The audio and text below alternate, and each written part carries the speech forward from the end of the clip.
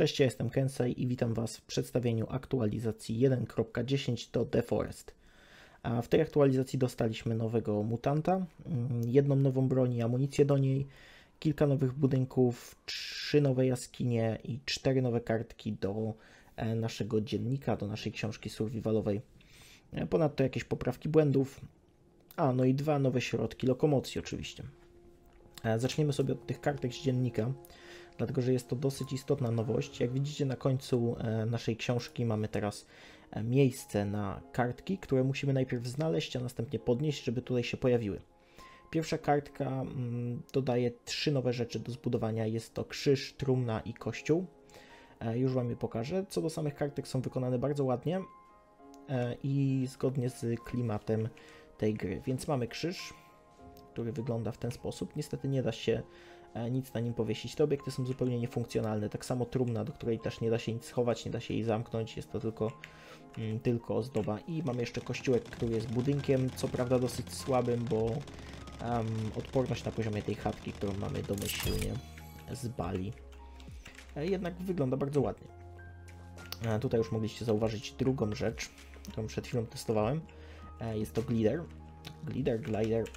Jest to druga kartka z naszego dziennika.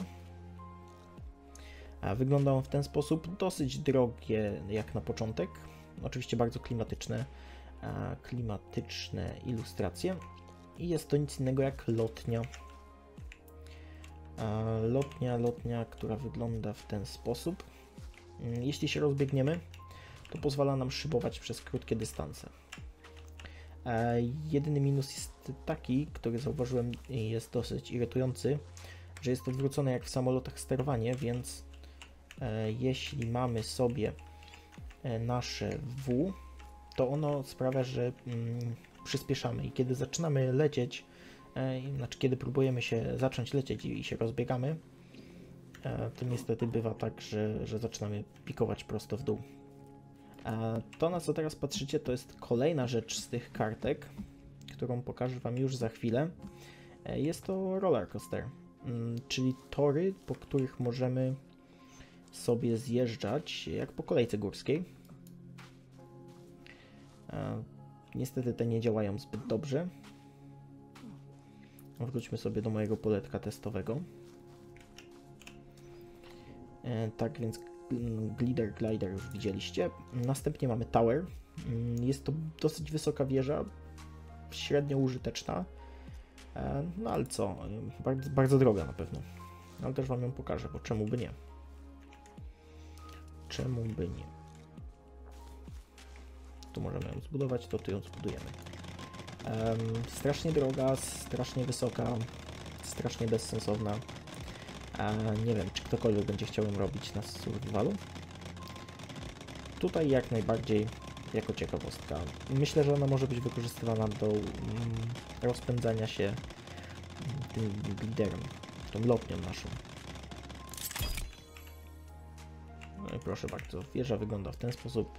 Mega wysoka, postawiłem ją w złą stronę. Trochę przypomina te punkty z Assassina, um, który...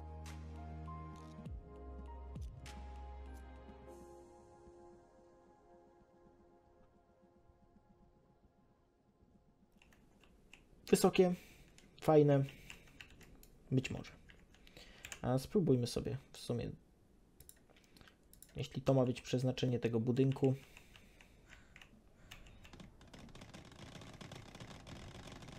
Radzę mu pokażę. No, wygląda ta lotnia ładnie. Nie powiem, że nie wygląda ładnie. I w ten sposób możemy sobie całkiem spory fragment mapy moglibyśmy oczywiście. Z lotnią są jeszcze jakieś dosyć mocne problemy. Ona czasami spada zupełnie bez powodu. W sensie tak jakby traciła nagle tą możliwość swojego latania.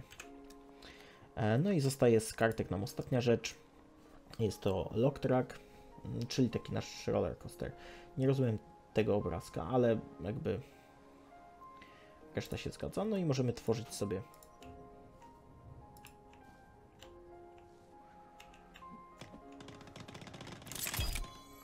Ok, teraz możemy użyć skorupy żółwia, podskakując i dając ją tutaj, aby zjeżdżać tym jak rollercoasterem. Możemy sterować w pewien ograniczony sposób, ale i tak każdy zakręt, każde takie podbicie to jest zwykle um, wywalenie się z tej skorupy. Spacją schodzimy. Zabawa fajna, raczej tylko zabawa. Kolejną świetną rzeczą jest nowy potwór, który potrafi przyjmować trzy um, różne formy. Pierwszą z nich e, są takie kubki mięsa, które próbują się poskładać w coś ciekawego. E, druga to jest e, forma, e, ta którą widzicie teraz, czyli forma latająca. I trzecia forma to jest forma chodząca, przy czym ona ma dwie wersje, bo kiedy tych części jest mało, to jest po prostu takim wystającym z ziemi robakiem, a kiedy tych części jest więcej, to przyjmuje taką trzynożną formę, która potrafi się poruszać i atakować nas. Jest mega silny, mm, każda z tych części ma osobne swoje życie. Pojedynczo one są bardzo słabe, ale mm, jest ich na tyle dużo i one się jakby reprodukują, więc stanowi dosyć spore wyzwanie. E, kiedy podpalimy go, te części się rozpadają, część z nich umiera, a część e, próbuje złożyć się w tego potwora w innym miejscu. E, tutaj chwilę próbowałem z nim powalczyć. Zabicie go zajęło mi około 15 minut, 10 minut. No tak czy siak nie było to zbyt szybkie. Oczywiście wykorzystałem masę bomb i yy, piłę motorową, żeby jak najszybciej te małe fragmenty pozabijać.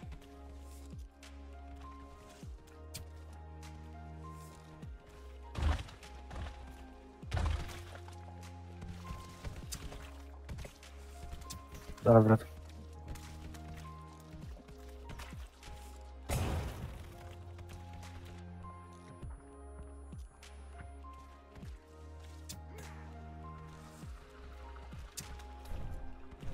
Kolejną nowością, kolejną nową rzeczą jest kusza. Jest to nowa broń, wygląda ona w ten sposób. Możemy ją napiąć i napiętą schować sobie do plecaka. Przedstawię może e, różnicę między łukiem a kuszą. Łuk napinamy dużo szybciej. Jest on moim zdaniem sporo słabszy. E, jeśli chodzi o celność, no to na krótki dystans łuk sobie radzi wyśmienicie. E, na długi już nie za bardzo. Już tutaj mamy opad strzały przy takim strzelaniu na tą odległość. Mm, moim zdaniem dosyć nieintuicyjny. Tutaj już nie wiem w ogóle, gdzie ta strzała leci. I tam tak samo. Spróbujmy sobie zrobić to samo teraz kuszą. E, strzelanie z kuszy trochę inne, bo teraz kiedy klikamy nic się nie dzieje. Musimy przycelować drugim przyciskiem myszy. Strzał, napięcie, cięciwy. Mamy też nowe pociski, nie da się strzelać niestety strzałami. Mamy e, bełty do tego. E, kusza jest oczywiście bardzo mocna, celna, jak widzicie też. Strzały, tej strzały z łuku zupełnie nie wiedziałem, gdzie ona leci. E, pociski idą jak, jak pociski. Chciałem powiedzieć bełty z kuszy idą jak pociski. Tutaj macie bełt, widzicie? Dycha. Strzałami już na tą odległość miałem problem, żeby trafić. Może jednak kościół ochroni.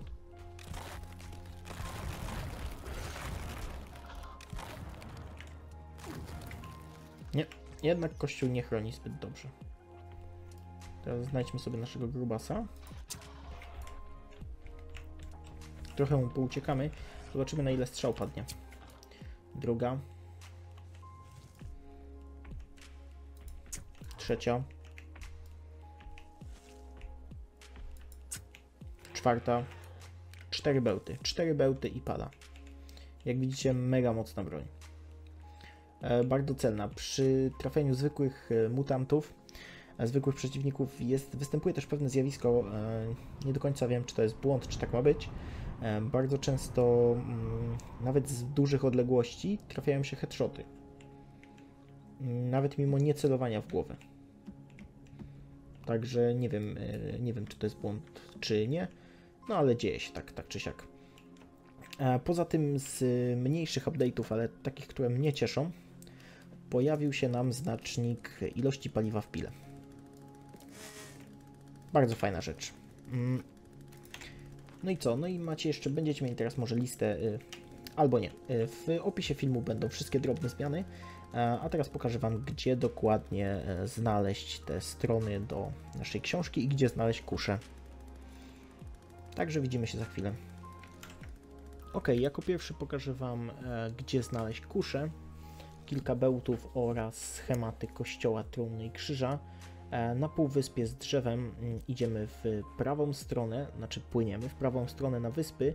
Na jednej z wysp znajduje się fragment łodzi. Jeśli pójdziemy wzdłuż niego w stronę morza, znajdziemy zatopiony okręt, a w środku wejście do jaskini. Do wszystkich jaskiń, mm, które dzisiaj odwiedzimy, będzie potrzebny akwalung e, albo wchodzenie tam na cheatach, gdyż jest e, pełno wody i mm, no, musimy jakoś oddychać pod nią.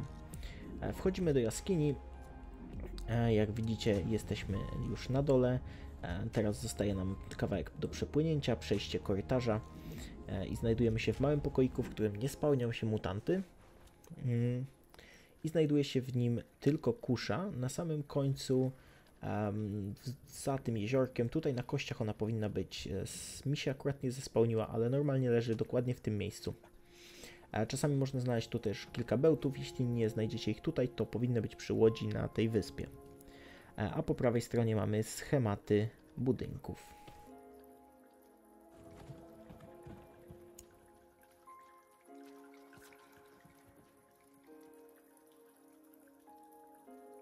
Kawałek dalej na południe mamy kolejną jaskinię. Znajduje się ona przy kilku bardzo płaskich y, wysepkach. Jeśli na jednej z wysepek pójdziemy w odpowiednią stronę, mm, to dotrzemy do kolejnej jaskini. Idziemy tak jakby w stronę tych kontenerów, trochę w stronę tamtego lasu. Zaraz powinniśmy zobaczyć belkę z linami jak poprzednio. E, jak znajdziemy belkę, no to nurkujemy pionowo w dół i tam jest wejście. O, już widać belkę.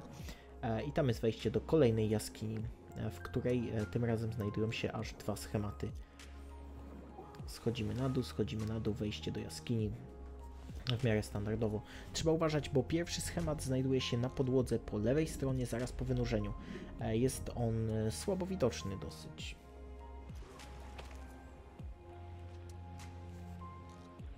I to był chyba schemat naszej lotni, z tego co wiem.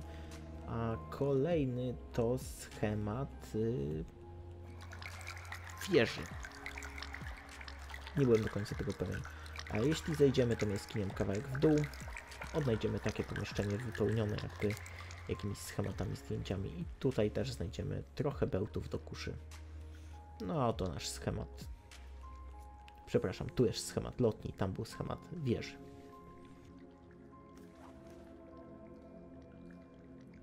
Ok, po drugiej stronie wyspy mamy kolejną jaskinię podwodną.